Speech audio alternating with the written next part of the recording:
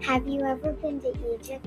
Odie the dog found a magic mirror from Egypt and looked it. All of a sudden, Odie was getting pulled into the magic mirror.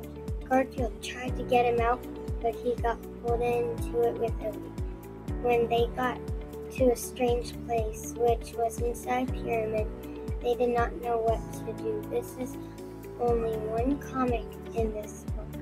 There are two more Garfield comics included. So find out if they get out of it by reading Garfield, The Curse of Cat People Now.